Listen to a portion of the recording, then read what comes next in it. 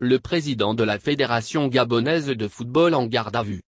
Le président de la Fédération gabonaise de football, Pierre-Alain Mouongangui, réélu pour un troisième mandat de 4 ans il y a moins d'une semaine, est en garde à vue depuis jeudi. Il est accusé d'avoir couvert des actes de pédophilie dans les milieux du football.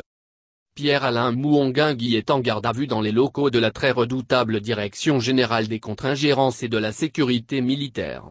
Il a été longuement entendu jeudi pour avoir couvert les crimes de pédophilie dans le football gabonais depuis 30 ans. En décembre dernier, le journaliste français Romain Molina avait publié dans un journal britannique une enquête sur la pédophilie dans le sport au Gabon.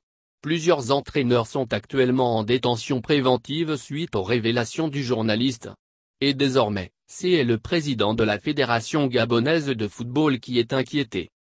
Durant son audition, Pierre-Alain Mouongangui a été confronté à Parfendon, un ancien cadre du football qui avait démissionné parce qu'il dénonçait la pédophilie dont étaient victimes les petits Gabonais.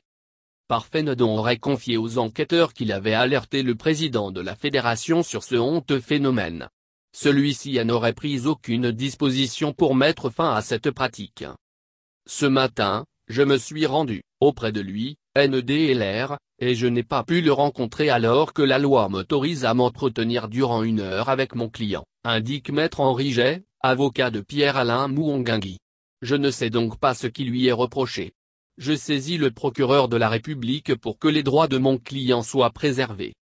Élu président de la Fédération gabonaise de football en 2014, Pierre-Alain Mouongangui a été réélu il y a une semaine.